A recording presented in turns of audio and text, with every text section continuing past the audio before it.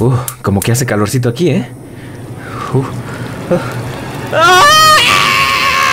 Cada tipo de aceite tiene un punto de humo diferente. El punto de humo es la temperatura a la cual un aceite comienza a quemarse. Cuando esto sucede, se dice que comienza a liberar sustancias dañinas. Por eso, uno preferiría utilizar en la cocina el aceite con el punto de humo más alto, que resista a altas temperaturas sin oxidarse. Pero resulta que esto no es lo único que importa. Primero porque tener un punto de humo más alto no significa ser más saludable. En segunda porque los métodos para detectar el punto de humo no son muy precisos. Y en tercera, porque la estabilidad oxidativa de un aceite no solo depende del punto de humo. Un factor mucho más importante es el contenido del aceite, si sus grasas son saturadas o insaturadas, si sus otros compuestos son antioxidantes o prooxidantes, ya que el efecto antioxidante de ciertos compuestos podría estabilizar la oxidación del aceite. Es por esto que hay aceites con puntos de humo más altos pero con menor estabilidad oxidativa y mayor riesgo a liberar sustancias dañinas, mientras otros, a pesar de tener un punto de humo más bajo, resisten mejor la oxidación.